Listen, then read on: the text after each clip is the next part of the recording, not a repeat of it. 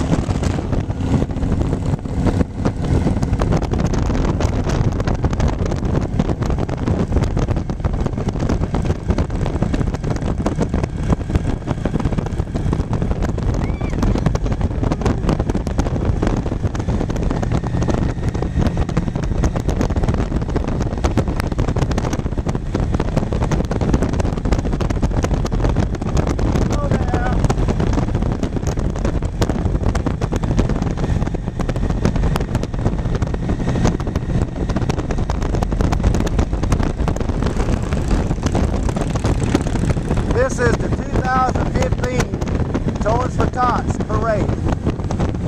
It's all for a good cause for children who don't have toys at Christmas. Thanks to the Confederates,